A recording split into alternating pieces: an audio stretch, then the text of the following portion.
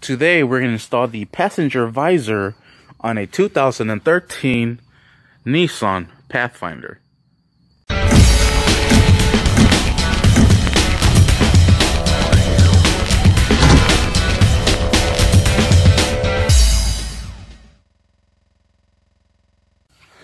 Alright, so what you will need is going to be the replacement visor if these have gone bad. Let me turn down the light a little bit. Alright, so the first thing we're to do is we're to go ahead and connect this pigtail right in here. You might need both hands. I'm to do that with both hands real quick. Alright, once you have that pigtail connected, just go ahead and shove it in there. You might want to do this with both hands. So there's a little hook right here.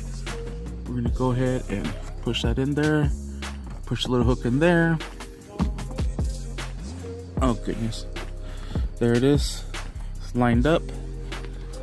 Now what we'll do is we'll latch it onto here to kind of help us.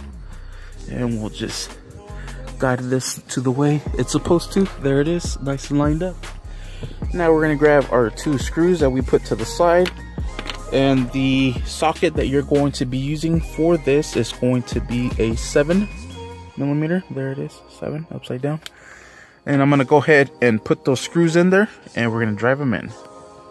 All right, so there they are. Now we're gonna go ahead and drive them in.